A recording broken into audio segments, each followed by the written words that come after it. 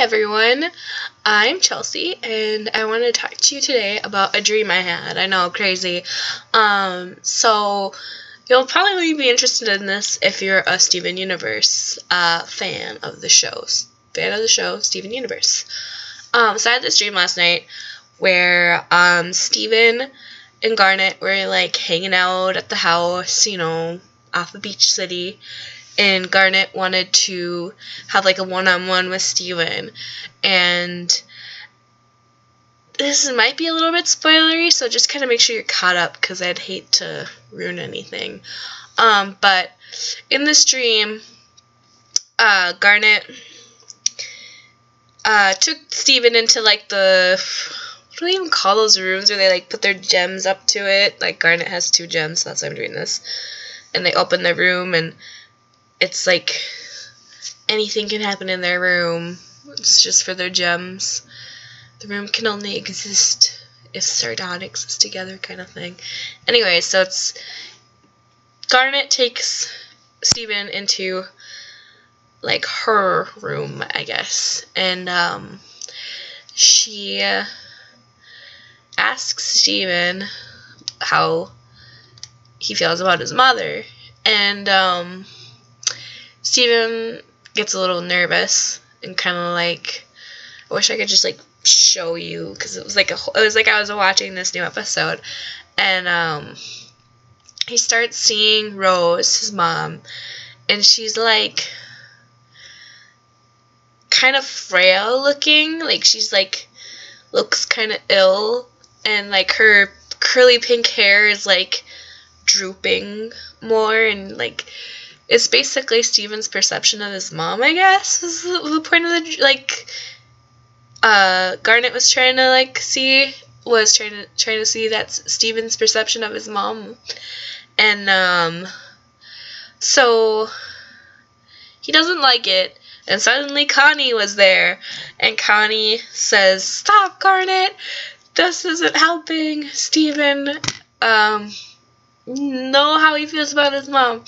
And she was like so protective of Steven that she like drew out the sword and was gonna fight Garnet. And Garnet is like, Alright, I'll fight you, Connie. But that Garnet starts to like split into Sapphire and Ruby because Sapphire apparently had this planned and Ruby had no idea, which I don't know when they're Garnet, I don't know how Ruby wouldn't know. But Ruby's like, I don't want to fight Connie. I'm not going to fight Connie. And Sapphire says, Don't worry. I know what I'm doing. And like, Sapphire pulls up this like golden shining sword to like fight her. And Ruby's like so nervous. But she decides to trust Sapphire. And like, between them like starting to sword fight and stuff, uh, they combine back into Garnet and uh, from there, Steven is so like scared. He's like, "Why is Connie and Garnet and Sapphire fighting?" And now she's Garnet again. And Steven was really confused and like his perception of his mom because like his mom was standing there those like frail ga- like gangly almost looking version of his mom was sitting there. They're all, they're all in garnet's room while this is happening which is kind of strange since the room went apart. You'd think that the room would go apart but then they were back together so i don't know my brain dropped that detail. But in the resolution or in the haze of my dream um he was able to um, start thinking of his mom in other ways. And like she turns into like this triangle, like pudgy figure where she has like ditto eyes and like a weird creepy smile, but in her curly hair is all like ringlets again, but it's like sh- way short. It's really weird. There's like this little triangle pudgy version of Rose Quartz. and like it, the point of the dream was at the end is that Steven didn't know how he felt about his mom. And I know there was just an episode about that, and I think I really liked that episode. That like my subconscious is like, I want that to expand more. I want them to expand on that, and I'm sure they will. But yeah, it was just a fun dream that I had. It felt like a real episode, even though it was weird, like a dream. Like dreams are fucked up. Oh, sorry, I shouldn't say that when I'm talking about Steven Universe. Well, anyways, then maybe should put like a warning. I use foul language.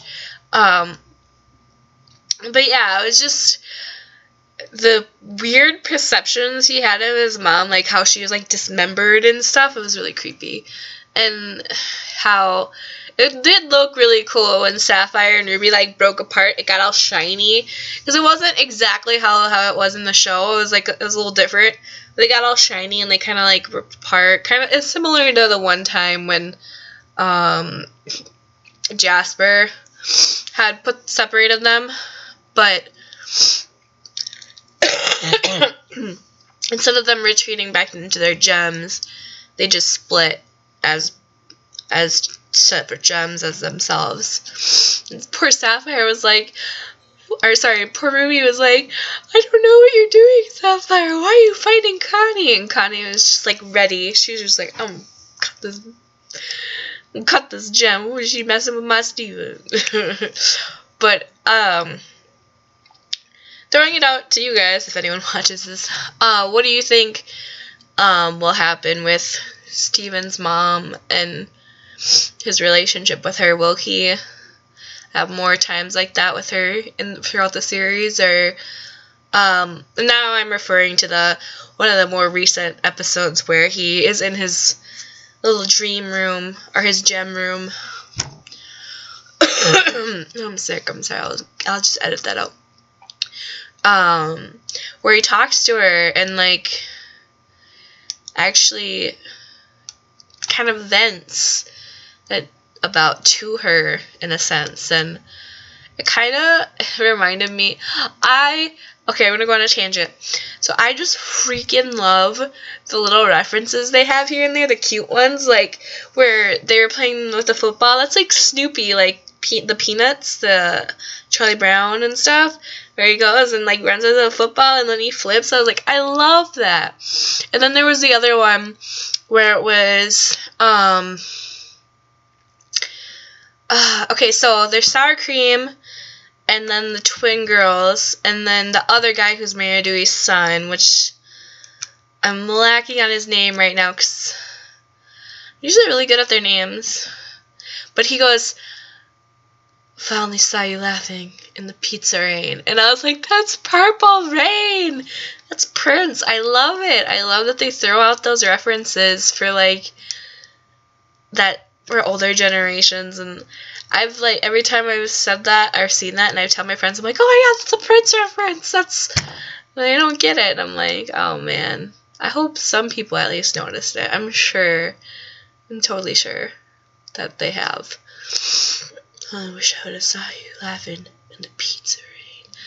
Love it. I love the shout out to Prince. It was so cool. And like I said, the Snoopy thing where he like runs up to the football and does the classic flip. I love that little that like little homage to the Peanuts. It was really good, really funny. Uh, yeah, I went off on a little tangent there. But yeah, the question I was gonna say was, uh, what you guys think of um, Steven and Rose in general. What do you think might happen there? And are there any other things you're looking forward to? I'd love to read them about them in the comments if you guys end up watching this. Probably end up titling this like weird Steven Universe dream or something. Um, yeah, I just wanted to sort of practice my talking in front of a camera, and I hope it went well.